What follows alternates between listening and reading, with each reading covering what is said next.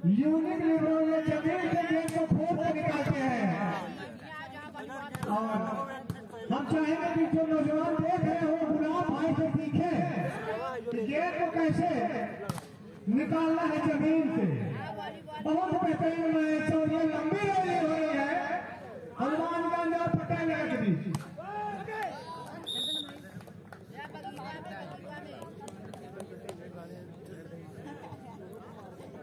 के ज्ञान सिंह मास्टर साहब, गुरु जी हमारे बुलानपुर के बहुत सम्मानित व्यक्तित्व, हमारे क्षेत्र में बहुत सम्मान है आपका बहुत बहुत स्वागत और एक सर्विस नेट मार बैठे पटेल नगर के खिलाड़ी।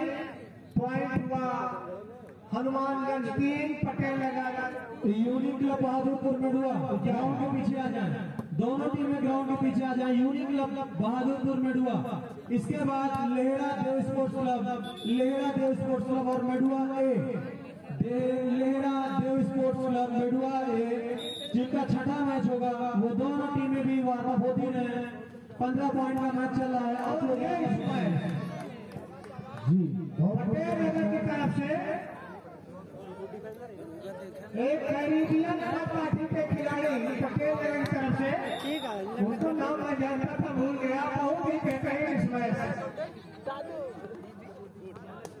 ये काफ़ी खूबसूरत और लाजवाब खेल यहाँ पर होता हुआ।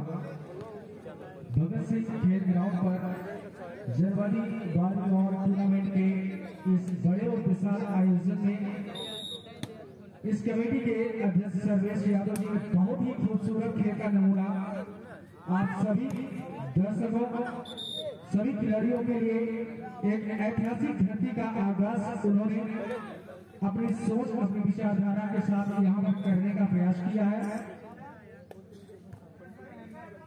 जी पॉइंट इस समय जो हनुमानगंज और भाग्यनगर के बीच में खेल तो होता हुआ हनुमानगंज पाँच पॉइंट पटेलनगर तेरह पॉइंट तो बहुत ही खूबसूरत का यहाँ पर नज़ारा आपके सामने पेश करते हुए दोनों टीमों के खिलाड़ी लगातार प्रयास में लगे हुए पटेल नगर चौदह हनुमानगंज चार।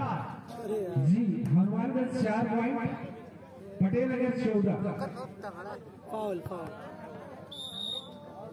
और ये पूछ लिया गया था बाहर नगर इस मैच को जीत लिया। है ग्यारह पर